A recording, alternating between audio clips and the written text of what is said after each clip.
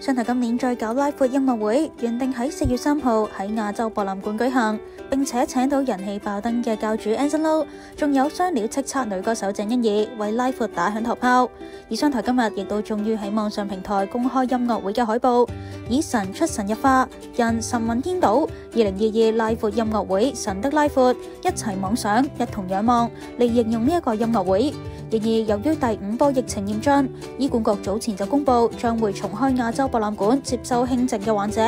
繼叱咤樂壇 Brand New Life 新力軍音樂會將會延期舉行，今年神的拉闊亦都因應措施要延期去到暑假之後先至舉行啦。